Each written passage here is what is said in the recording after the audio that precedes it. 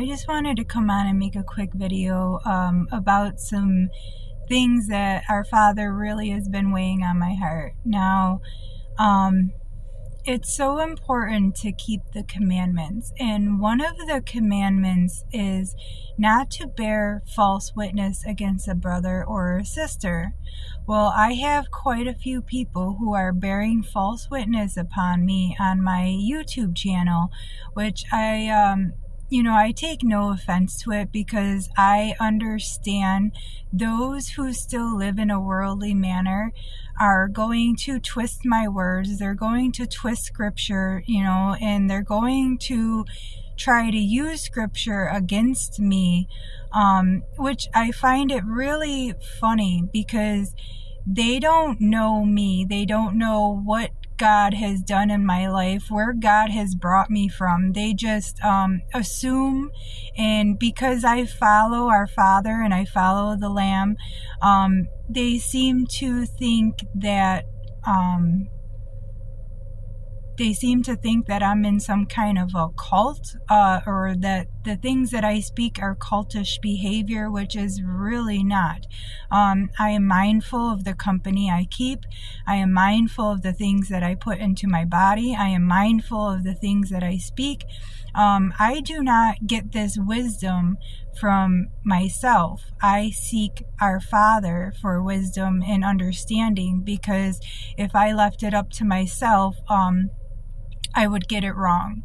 Um, so, you know, I just find it funny that somebody can bear false witness against me and say that I sit in my car making these videos and I'm all depressed. First off, um, I struggled with depression um, in the past and now, since I've been reborn in spirit, I have no depression. I have no anxiety. Our Father has taken all those things away from me. Um, when I make my videos, I become very serious because I can't speak for anybody else. But when I am speaking of things that are of the Father or from Scripture, I take those things very seriously. So if um, you've mistaken my seriousness of the word for depression, um, I, I, I do feel bad for you because you're bearing false witness against me because you don't understand the amount of joy that I have that our Father gives to me. You don't understand the amount of peace that I have that our Father gives to me.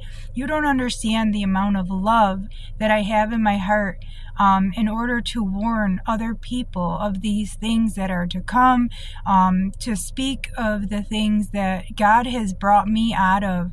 And, um, I make these videos to share my testimonies, to share scripture, to share with others what our Father has done in my life so others can see what He has done in my life, so others can see what He can do for them as well in their life.